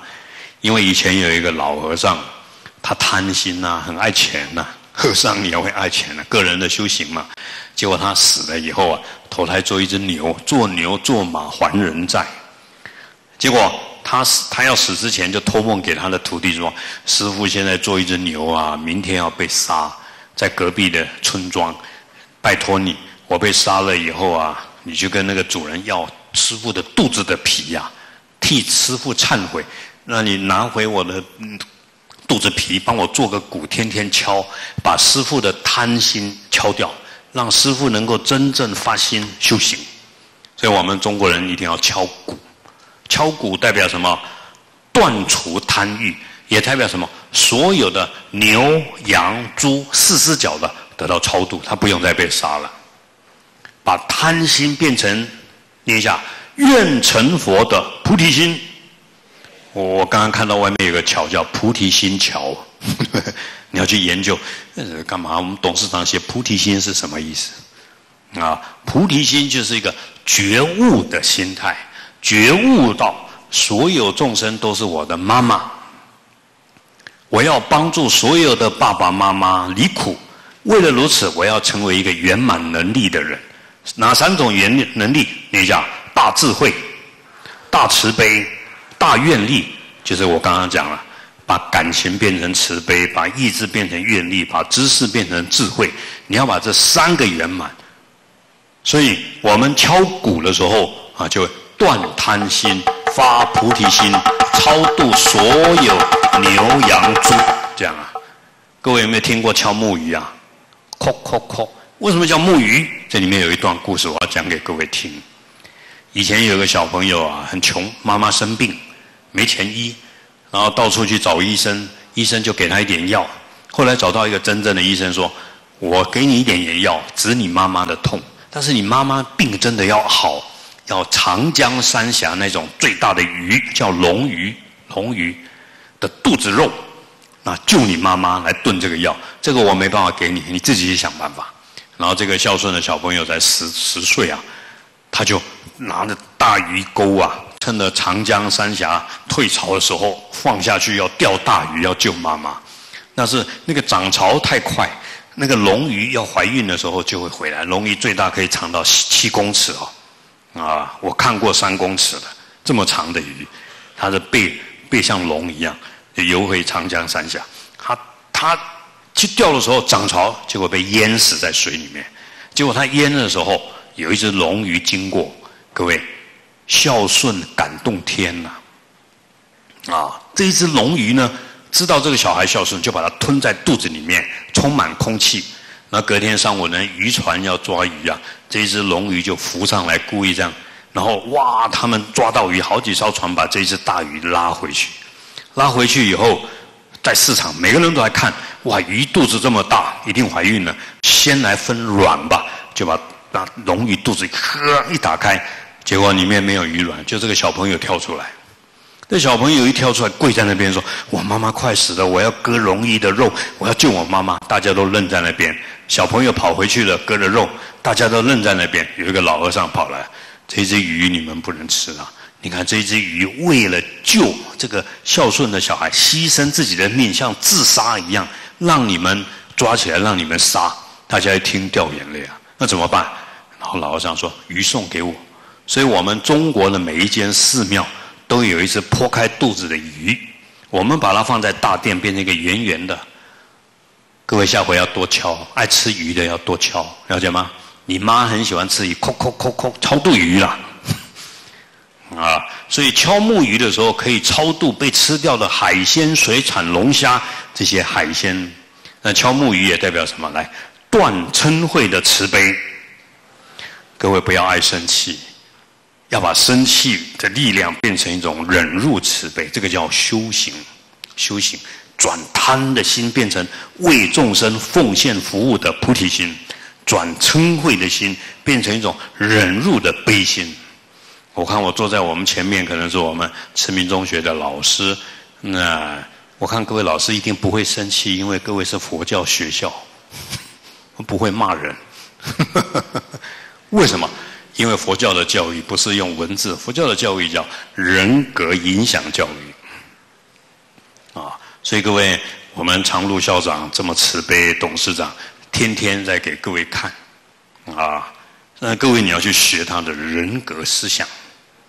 所以你爱生气的，你要多敲木鱼，好不好啊？下回请我们董事长哪一个爱生气，送你一个小的，扣扣扣。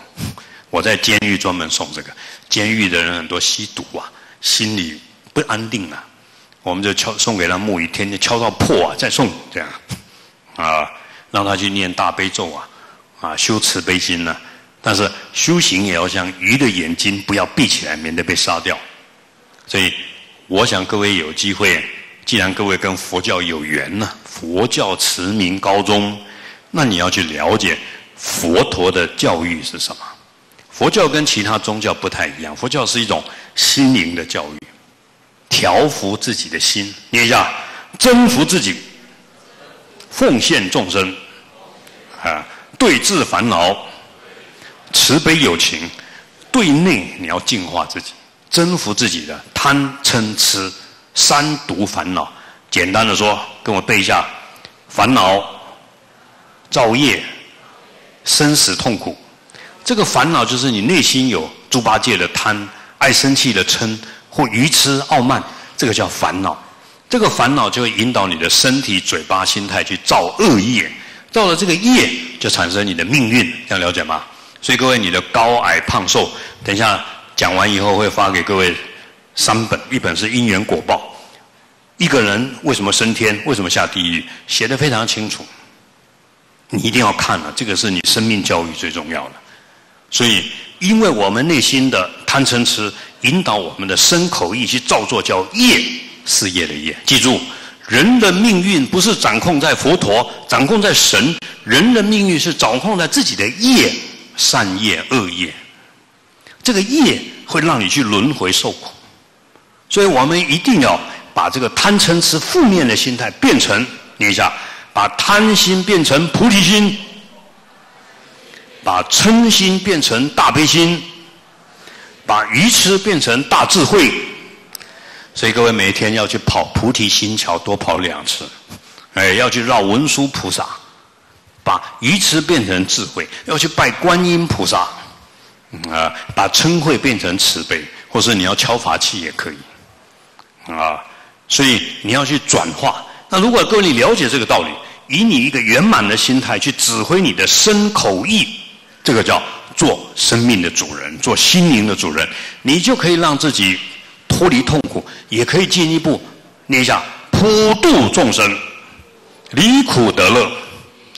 为什么？背一下，众生都是父母。众生皆可成佛，众生平等，绝不伤害众生，好不好？不能自杀，自杀会下地狱，你将来还要自杀七次。自杀是对不起世界，对不起爸爸妈妈，对不起学生，对不起校长，对不起国家社会。一个人的成长不是光你自己的，所以各位，我们永远都不孤独，千万不要觉得自己孤独。因为山河大地、花草树木，一切都是因为我们而存在。爸爸妈妈这么爱我们，所以整个世界都是我们的爸爸妈妈。没有空气，没有太阳，你不能活；没有土地，你不能活。这个世界如果没有蚂蚁，世界就毁灭；这个世界如果没有蜜蜂，世界也会毁灭掉。所以万事万物应该如何？念一下：和平相处。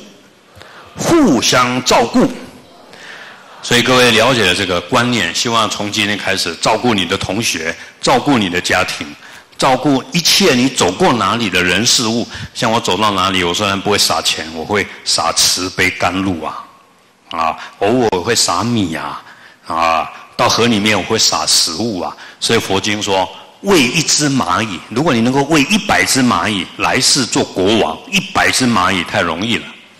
你能够喂一千只蚂蚁，你可以抓到所有的真理。所以千万不要以为蚂蚁跟一只大象都是平等的，死掉的大象还不如一只小蚂蚁。为什么？有感觉者皆有佛性，有知觉者皆有佛性。所以我问各位：各位，你生命里面有没有佛性？有没有？对了，那你不是开悟了？所以不要浪费，要用自己的佛性。什么叫佛性？来，大慈悲、大智慧、大愿力，就是菩提心。用你的菩提心来过生命，像我们都发誓了，宁可身体死掉，菩提心不能死掉。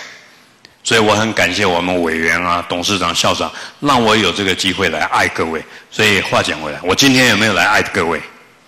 这个叫真爱。希望各位永远快乐，到最后大家成佛，一起去帮助这个社会。所以我们学校有佛陀哎，我们有常路董事长那边代表佛陀在那边给各位看呢。各位没事，你要经过办的我们董事长办公室，你要绕一圈，阿弥陀佛，然后去上课。啊，因为活的的佛菩萨，他视线给我看，给我们看，但是也是各位的福报。各位一定过去是搞不好出过家。很虔诚的做三宝弟子，我也敢相信，在佛教讲，我们董事长一定做过各位的妈妈，他只好照顾各位，啊，天天要照顾各位，为什么？本来就是这样，高能力者服千百万人之物，孙中山说的，啊，所以我想各位学习的目的、精进的目的，是为了增加自己被利用的价值，所以念念下来，以世界为道场。以众生为父母，所以我们要爱护世界，爱护众生，生命平等。所以希望各位从今天开始，开始帮助众生。念一下“舍一得万”，跟我念四个字：有钱真好。一定要有钱，你没钱，你哪里想服务众生啊？你怎么服务啊？那有钱从哪里来？经常布施，好不好啊？各位，你去市内买东西，找你两块，两块给他丢在人家爱心基金嘛，啊，红十字啊，爱心啊，救森林啊，都可以，啊，每天都要布施。所以我从小学三年级就开始做。我一个老师叫孙梅梅，我一辈子都记得她，她现在还活着。她有一次我们要升到四年级，她掉眼泪给我们说：“她说孙老师啊，带你们这一年了，每天叫你们每天做三件善事，写在周记上面。老师现在不做你们老师，希望你们这一辈子都记得。”哦，老师就开始哭，我们大家都哭啊，就把它记下来了。用哭也可以度众生呢。然后我们就记下，每天做三件善事，所以我现在不止，我每天可以做到一百件善事。啊，我走到哪里就一直做善事，一直做善事。我发觉我们那班同学有一次有一个机机会碰到好几位，都是什么董事长、有钱人，其中我最有钱，出家，对不对？出家做和尚是最有福报的，啊，所以我爸爸到后来要往生前，他才知道说，原来生了一个和尚儿子是他的福报。我说爸爸，你才知道，啊。一子出家，九泉七祖尽超生。所以我想各位，各位有没有出过家？都有，你不要讲没有啊。阿公阿妈往生的时候披麻戴孝，就是出家的意思啊。穿布的衣服，穿布的鞋，草鞋，戴草帽，因为你有头发，这是从佛教里面来的。一子出家，九玄七祖尽超生，所以守孝的时候要披麻戴孝，困超求啊，对不对？然后呢？啊，念阿弥陀佛加财，那这样来替父母。但是各位千万不要等爸爸妈妈走了再来孝顺，那就错了。啊，爸爸妈妈就是活活活在世界上的佛，要孝顺父母。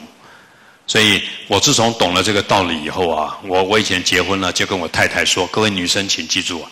千万不要为了爱情叫你的先生不要去孝顺他的爸爸妈妈，甚至拉着先生的手说：“我不跟你爸爸妈妈住在一起，我们去外面住。”这非常的不孝，你没有福报，你将来会没有福报。啊，爸爸妈妈、公公婆婆、岳父岳母，就是各位真正要孝顺的。所以佛经说，孝顺是世间第一福报。你今天要发财、要赚钱，要从这边来。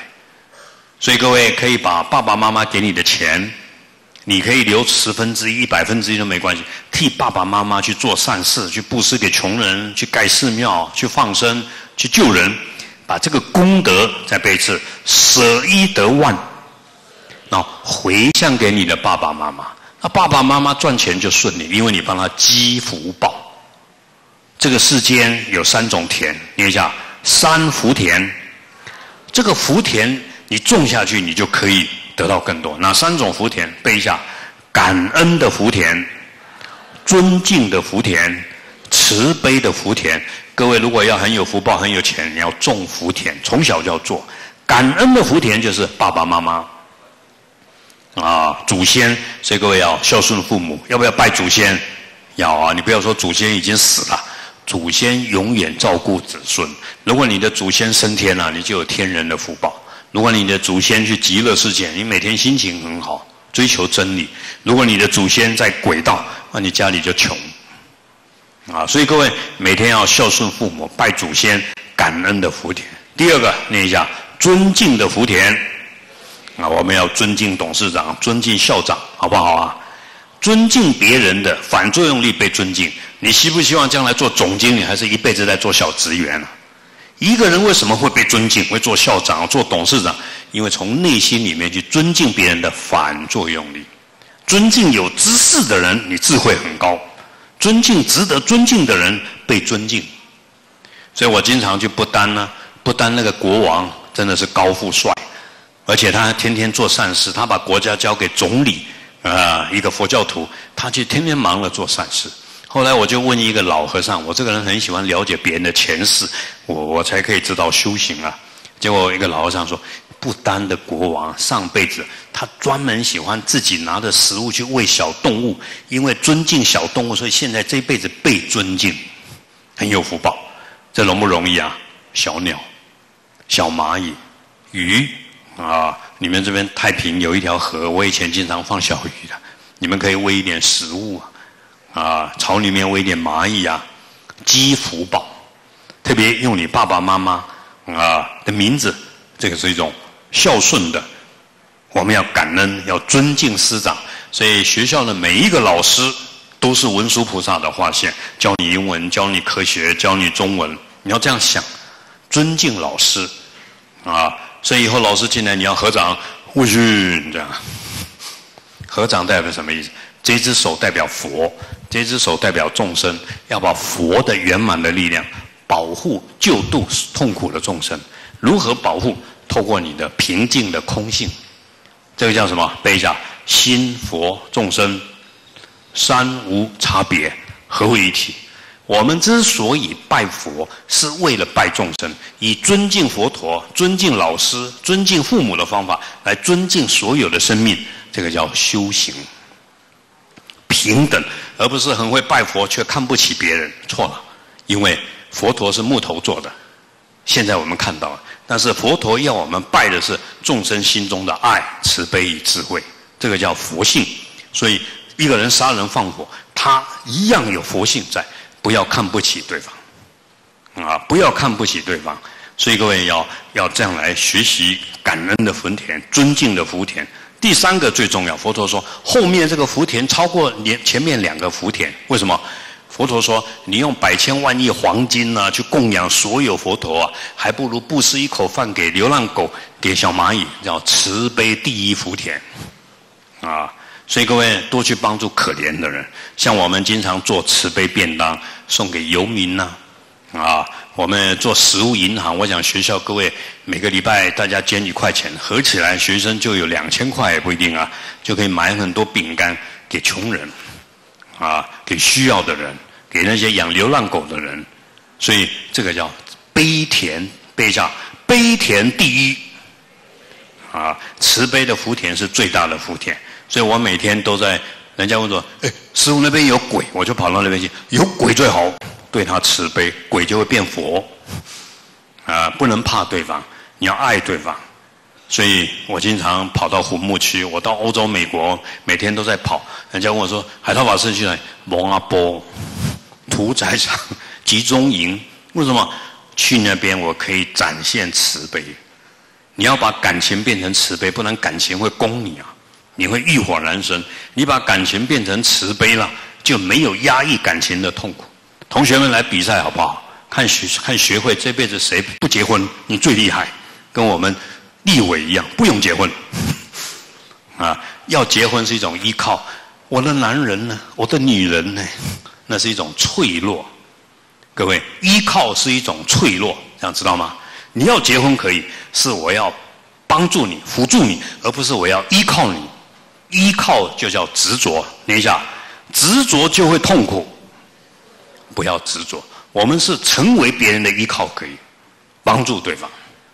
我想，就像我们董事长是个出家人，他可以在山上，然后吹吹凉风，阿弥陀佛，阿弥陀佛啊！他为什么要做这么大的事业？为什么慈悲？这个里面的痛苦多不多？非常多啊！啊，我自己也在做很多很多的事情。我师傅叫我磨练了，你要做各种的事业，两年就要换一个，对我两年就要换一个。他叫做不能执着，因为我是男生呢，所以我每天在跑世界各地。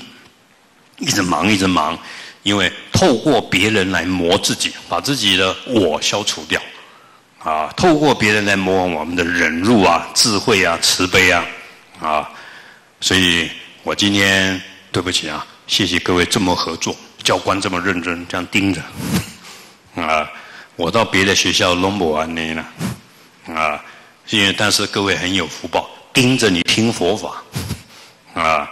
但是各位从这里面就可以得到很多真理。不过我想留一点时间，各位有没有问题要问啊？借这个机会，麻烦义工菩萨把要发给同学们的，我要发给各位一张讲义，昨天才印好了。佛陀为什么眼睫毛这么长啊？眼睛这么漂亮啊？佛陀为什么指甲不用擦擦这个指甲膏就这么亮啊？啊，佛陀的。呃，手脚皮肤身上为什么这么香啊？都写在这上面。所以你要看，女人要不要长得漂亮？不漂亮不慈悲，修不好。但是漂亮但不执着就变慈悲。所以我们的释迦牟尼佛、观音菩萨长得庄不庄严啊？庄严，这个就是修行。那释迦牟尼佛有三十二加八十，总共一百一十二的相。为什么佛陀的皮肤看不到一个黑色的痣？啊，佛陀可以几天不洗澡，佛陀脱衣服你都看不到他不好看的那一部分。啊，这么庄严，所以佛陀走到哪里都会放光。哦，这里面我故意把它翻成白话的，那各位看一看好不好啊？下回考试给毕业证书，我师傅说不慈悲不让你毕业。啊，但是至少各位了解。那另外一本呢是因缘果报啊，为什么会做有钱人？为什么会下地狱？十八地狱长得怎么样？守五戒，在背侧不杀生，不偷盗，不邪淫，不骗人，不喝酒，不杀生，得长寿健康；不偷盗，得富贵有钱；不邪淫，家庭感情快乐；不妄语，就是不骗人，口才好，人缘好；不喝酒，脑筋好。所以各位，佛法是新的宗教。不要喝酒抽烟，因为它会破坏你的脑细胞，会让你不专心不专注。佛教最高的智慧是观察跟分析，你要把万事万物维系的分析到底。所以我们我读了这么多书啊，我看佛经最深呢，但是也最有意义啊。啊，你可以把它分析的很深，分析什么？你讲了解自己，认识自己。有一句话讲的很好。彻底的认识你自己，就认识了佛陀。你透过认识你自己，可以认识原来万事万物都有佛性，众生皆可成佛。要彻底的认识，所以我希望各位来把这本看完，好不好啊？还有一本是 慈悲的眼睛。我我们现在希望各位要会讲英文，要会讲日文，要会讲拉丁文，要会讲法文，因为你要。千手千眼利益众生，你要跟世界沟通，所以各位现在很年轻，不要浪费时间啊！要学会英文乃至第三种语言，你都要学会。在台湾，普通话要会讲，闽南语要会讲，你还会讲广东话。哇，这个世界有一亿个广东人，你会讲潮州话，那你到外国去，大部分都是潮州人啊！你会讲日文，那日本人他们也很喜欢听佛法的。所以各位一定要增加自己的被利用价值，不要浪费时间，多一点时间学习。这个时候是学学生学习生命的教育，充实自己，才能够去帮助社会奉献。所以千万不要把时间拿来吃喝嫖赌、约会、唱歌、跳舞、化妆、照镜子，啊，那这些东西是一种欲望，看你能不能拼赢你自己。心美，外表就美。心里慈悲最庄严，但是增加自己被利用价值，千手千眼观音、文殊菩萨，这些都是展现各种力量在帮助。所以慈悲的眼睛是什么意思？眼睛要找智慧，眼睛要哪里受需要帮忙，所以叫慈悲的眼睛。不要做低高的把揪，会不会啊？爱没人的处理啊！你要改变你自己。所以各位了解这个道理。每个人就可以找到很圆满的生命的意义。好，那各位今天也要送给各位两条，这里面每一条外面三个咒语，里面三个咒语合起来有六个佛的力量带在你手上，好不好啊？虽然我们不是佛，但是你把佛的力量要带在手上啊。那么跟别人握手。包括洗澡可以不用拿下来，这个水这里面有一个叫水解脱不修成佛咒，为什么？这个水碰到这个这个咒语，它一流出去，哇！以后这个水鱼也好，众生吃到它可以脱离痛苦，这个是佛的力量。为什么要成为佛？成为佛你才可以圆圆满满的利用他的形象、他的名字、他的咒语，想到他而得到光明。所以各位现在没有成佛，把它戴在手上，好不好啊？戴在手上，然后呢，哎，你不要带这个去打麻将啊，不会赢的，保证你输，因为他要让你输，断除贪欲。大概这个就是说，我开车会慢一点，啊，我可以帮助别人。做医生的带着，希望我带着他病容易好，要这个想法。但是真正的加持在你的心，叫陀罗尼咒语，啊，咒就是我念唵嘛呢叭咪吽，就让我的心恢复慈悲心。我念嗡阿拉巴扎那蒂，让我的心恢复空性的智慧，啊！所以各位，心创造一切，所以用心可以改变世界，永远记住这个。所以我现在我很认真，那个别人因为我世界各地跑，哦，他住英国生病了，他跟我说，我会利用半个钟头为他念心经啊，哎呀，为他念一些咒语啊，来回向给他。没多久，他打电话，哎，师傅也比较好，哎呦。不是我的力量，佛的力量太伟大了，啊！但是透过我们的信心跟平静，把这个力量给对方。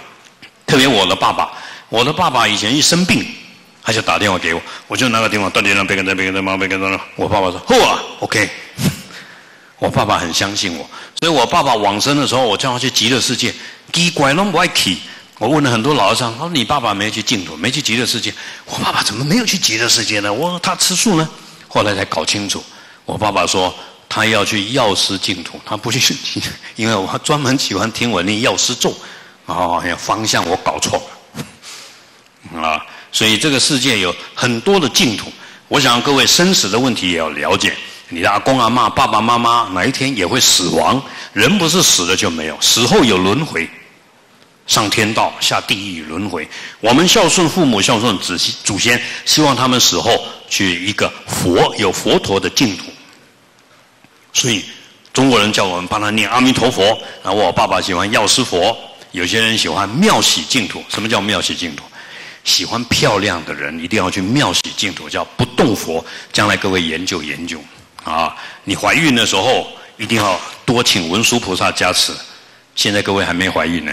但是你要先听好好了，念一下嗡哧令，这个嗡哧令就可以保护你肚子的胎儿，文殊菩萨的加持，啊，那这些各位希望学啊学习，我想各位读一个佛教创办的学校，至少每个月要两堂课，像今天这样上上课，好不好啊？啊，把这一些为什么要念那个，为什么要念这个，我们要了解，但是。成为一个学习佛法的人，对其他宗教都要尊重跟保护。所以我对天主教、基督教很认真。我经常到天主教去去诵经啊，我在印度教里面也在教书。因为佛法是超越宗教的啊。台湾的传统的道教也有他相信因果的一些道理，我们要内心尊敬。我为什么要讲这个？拜佛是拜什么？念一下：拜众生。尊敬众生，你要把所有的生命都当作佛来尊敬，这个叫拜佛，而不是说我是拜佛的人，我看不起没有拜佛的人。一只小蚂蚁对我们来讲都是父母，都是未来佛。你我们把头放在地上，这样的尊敬他们啊，所以不要看不起别人。这个人现在对不起你，念一下：诸行无常，一切都会改变的。这个世间唯一的真理就是一切都会改变了。虽然他现在很坏，他将来会变好。只要因缘成熟，这个因缘是我们给他因缘哦，我们为多多为他念经啊，多为帮他修福报啊，点灯啊，他现在慢慢他就会转化，因为心灵的力量。这个世界有三种力量可以改变一切，念一下：智力、佛力、法力。背起来，我要各位背这个。智力就是你自己的信心、修行的力量；佛力呢，嗡嘛呢叭咪吽，或是你念文殊菩萨，这个叫佛的力量，这个最大。再来法力，什么叫法力？你要有钱多布施钱；你妈妈腿不好多布施拐杖；你爸爸腰不好多救泥鳅蚯蚓，这个叫法。法就叫法界反作用力。你对待世界别人的反作用力，刚刚我们讲行为反作用。这个世界靠这三种力量改变一切。来念一下：自我功德力、诸佛加持力、法界缘起力、反作用力。这三个力量随时掌控，改变一切。你希望长得漂亮，从今天开始不要生气，好不好啊？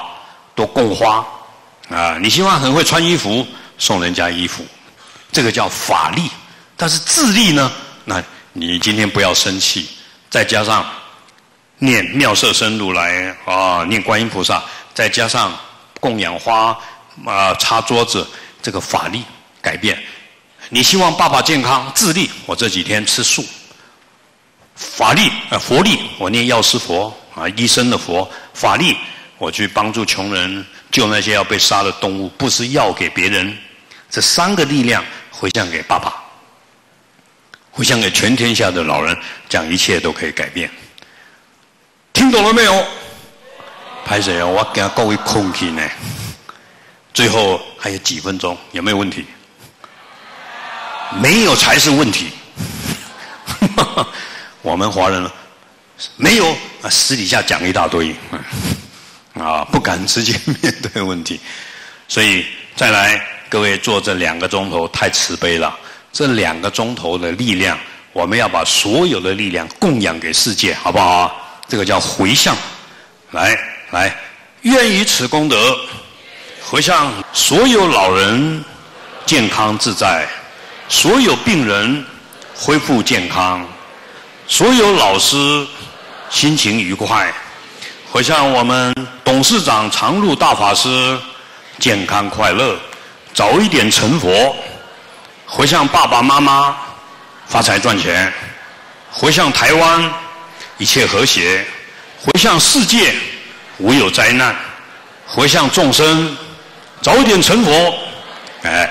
所以你把做了好事也要回向，这个叫法界缘起力。好，谢谢大家。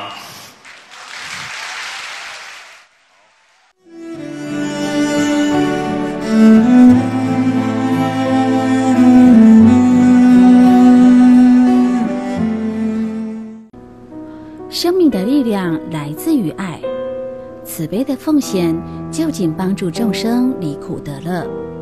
所以，生命电视台带着大家吃素、放生、施食、救苦救难，到处去利益众生。愿大家多护持生命电视台，让佛陀的智慧，让佛陀的大悲心充满这个世间。护持正好：一九九六五二三二，一九九六五二三二，户名：生命文化基金会。报恩的虎狗，在农场，家家户户都会养狗，因为它们既可以帮忙看前顾后，又能协助放羊。而附近最好的狗，当属欧文家的那三只牧羊犬。哦，欧文家的牧羊犬真是不错，你看他们将羊群管理的井然有序。可不是嘛，他家的狗也是我们这里最勇猛的狗了。那一年，他们三个大战黑熊的事，谁不知道啊？真是了不起啊！这三只狗竟然能把黑熊给打跑。如果我也有只这么聪明勇猛的狗，该有多好啊！不知道它能不能卖我一只呢？卖你一只？别做梦了！那三只狗就像他的孩子一样，欧文他怎么舍得卖呢？欧文的确非常喜爱自己的三只狗。他最享受的时刻就是每天傍晚在屋外给它们喂食，看着它们吃饭的快乐时光。慢慢吃嘛，又没有和你们抢的。哦，哪里来的狗啊？你看它灰头土脸的样子，我看那应该是只没主人的野狗。我们的邻居们都将狗当做朋友，谁会将它丢弃呢？你快看，它正看着我们呢。这只狗看起来并不怕人，应该不是只野狗。喂，你是不是饿了？要吃东西吗？那只狗一愣，接着他看了一眼欧文身边那三只狗，显得有些惊恐。看来他是害怕我们家的这三只狗啊。欧文将一块食物朝着那只狗丢了过去。那只狗被突然扔过来的食物给吓了一跳，它就像一根绷紧之后被释放的弹簧，以一种惊人敏捷的速度窜到了一边。哎呀，它的动作怎么那么敏捷呢？它刚才的动作哪是狗的动作？这动作简直就像是一只狐狸。哦，它的动作的确像狐狸。那只狗确认没有危险后，便张嘴将其叼起来，然后转身跑走。通常狗得到食物后，都会在第一时间将其吞到肚子，哪怕已经吃饱了也会这样。而这只狗怎么会将食物叼走呢？或许这就是野狗和家狗的区别吧。有了这一次的接触后，那只狗时常会出现在欧文的视线中，而欧文每次看到它，都会给它一些食物。经过一段时间的接触，那只狗和欧文越走越近，但它仍保持着戒心。西蒙，你现在还打猎吗？老了，不打了。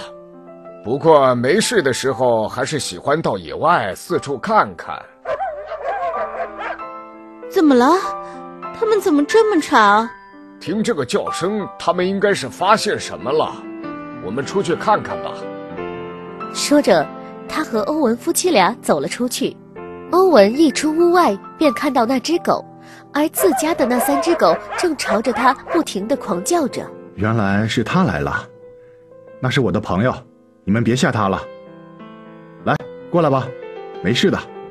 那只狗小心翼翼地观察了一下，然后谨慎地朝欧文走了过来，可是又停了下来。然后警惕地看着欧文身边那位老猎人，快过来啊！没事的。看来他不认识西蒙，不敢过来啊。算了，这个家伙胆子也太小了。嘿，欧文，你有没有发现这只狗的一些动作有些特别？没错，它有些动作很像狐狸。对。这是一只狐狗。啊，狐狗？什么叫狐狗？狐狗这个名字是我帮它取的。那是前年的某一天，我和朋友在野外闲逛的时候，发现了一只母狐狸。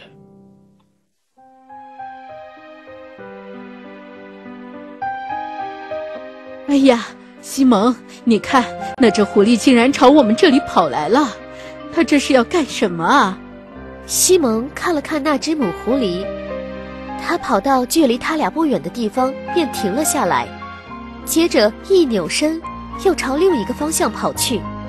没跑多远，又停了下来，并且还转身看着他俩。这应该是一只刚生产没多久的狐狸妈妈，如果我没猜错的话，他的洞穴就在附近。既然他的洞穴就在附近的话，那他见到我们为什么不赶紧跑回洞里躲起来呢？那是因为洞里有他的孩子，他怕暴露洞穴的位置，所以想将我们引走。这些狐狸狡猾着呢。不过再狡猾的狐狸也瞒不住西蒙你呀。我和他们打了一辈子交道，这点伎俩是骗不了我的。走，我们假装跟着那只狐狸。这样他才会安心。嗯，好的。不过这只狐狸为了保护自己的孩子，宁可自己冒险引开我们，也真是伟大。这就是母亲，为了保护自己的孩子，可以不顾自己的安危。就在此时，那只母狐狸突然像是觉察到了什么，然后抬头朝空中看去。咦？它怎么了？西蒙顺着母狐狸的视线也朝空中看去，只见高空中有一只鹰，它的爪子似乎还抓着什么东西。母狐狸朝着空中那只鹰发出一声哀叫，接着便飞快地朝它那里跑去。它这是怎么了？唉，那只鹰应该是把这只狐狸的孩子给抓走了，可怜的妈妈。她原本想将我们引开，却没想到让那只鹰给捡了便宜。西蒙和朋友看着母狐狸一边哀叫着，一边朝那只鹰追去。然而那只鹰很快便消失在空中，不见踪影。母狐狸朝着鹰飞走的方向不停地哀叫着。从那天起，野外便经常能听到它的哀叫。作为母亲，失去了自己的孩子，那当然是非常痛苦的。是的，不过后来他不知从哪里找来了一只刚出生的小狗，于是便将那只小狗当成自己的孩子养了起来。也正因为如此，小狗的很多动作和习性既像狗又像狐狸，所以我都叫它为狐狗。也就是说，所谓的狐狗其实就是一只狗，只不过它是由狐狸养大的。没错，你们发现了没有？它身上既有狗的习性，又有狐狸的习性。的确是这样呢。不过有一点我无法理解。为什么我每次丢给它食物，它都要叼走呢？不管是狗还是狐狸，它们都没有储藏食物的习惯呢。哦，你是说它储藏食物？是啊，每次我丢给它食物，它都不会当场吃掉，而是叼走跑掉。啊，这的确是有点奇怪。现在天越来越冷了，它在野外想要寻找到食物是很困难的。按理说，得到食物后，它应该立刻吃进肚子里才对，可不是嘛？每次它来的时候，肚子都是饿得扁扁的，看得出来，应该是实在找不到食物才来寻求帮助的。可得到食物了却不吃，这点我实在想不通。欧文，下次他再来的时候，你偷偷跟着他，看看他究竟将那些食物藏到哪里去了。嗯。我会去一探究竟的。几天后，那只虎狗又一次出现在了欧文面前。哦，它终于又出现了！过来吧，我这儿有好吃的。那只虎狗四下看了看，它没有发现欧文养的那三只狗，于是便放心的走了过来，摇起了尾巴。还会摇尾巴？你现在越来越像狗了。来我这儿有好吃的，看你瘦的，都皮包骨了。这种天气很难找到食物吧？我不是和你说了吗？找不到食物就来我这里。呃，哎，他还是要将食物带走啊！今天我要跟着看看这家伙将食物都带到哪里去了。欧文一路上跟着那只虎狗，但在一弯处，虎狗一转身就消失不见了。哎，怎么回事？他跑哪里去了？嗯，哎，真是奇怪，他究竟跑到哪里去了？哦，他不会钻进那个洞里了吧？哇，好大的骚味！这是个狐狸洞啊！欧文话音刚落，那只虎狗一下子从洞里钻了出来，它呲着牙朝着欧文发出威胁的呜呜声。啊！你这个家伙要干什么啊？我刚给了你食物，你就不认我了吗？虎狗依旧朝着欧文发出阵阵威胁声。这时候，洞里传来了狐狸一声微弱的叫声，接着一只母狐狸从洞里钻了出来。虎狗急忙转身朝其轻轻地叫着，然后伸出舌头舔着它的毛发。那只母狐狸看了欧文一眼，然后缩回洞里，但很快又从洞里出来。而且嘴里还叼着虎狗带回来的食物，它将食物放在了地上，然后朝着欧文发出一声哀叫，似乎是在恳求欧文放过他俩。原来如此，我每次给虎狗的食物，它并不是叼走藏了起来，而是带回来给这只母狐狸吃啊。他看了那只虎狗一眼，母狐狸看到欧文在看虎狗，于是又放出一声哀叫。并且用鼻子把那食物往欧文面前推了推，这是我送给你们的，你吃吧。说着，他将随身带的一些食物也朝他俩那里扔了过去。虎狗和母狐狸愣了一下，虎狗小心翼翼地凑过去闻了闻，这些都给你们，放心吃吧。以后没有食物，还是来找我，我会帮你们多准备一些的。